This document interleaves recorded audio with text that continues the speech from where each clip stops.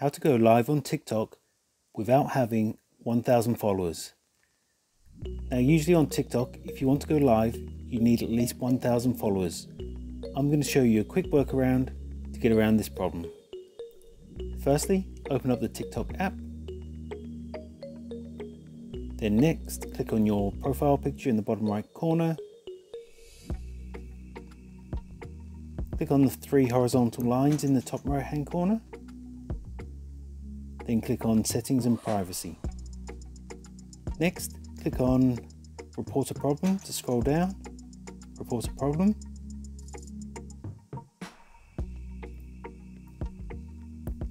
Then you can see it says I can't start start alive. So click on that.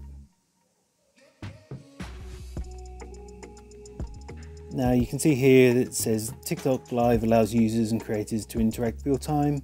Users 16 years and over can access live and users 18 years or over may send and receive gifts during a live video.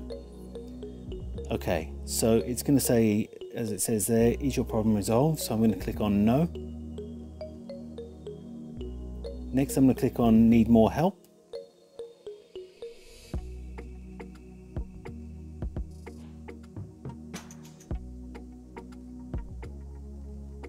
Then I'm just going to send them a quick message. I'm going to say, Hi.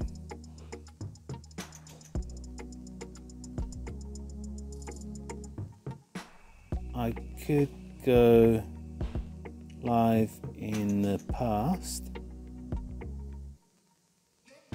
but I can't anymore.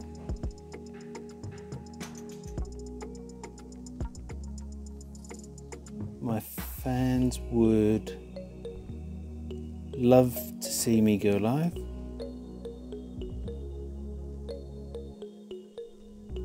And then I'm going to say thank you.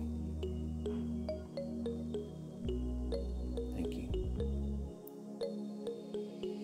Then I'm just going to click on report, the report button there, the big red button. And then within 48 hours, you'll get a response back and then you'll be able to go live.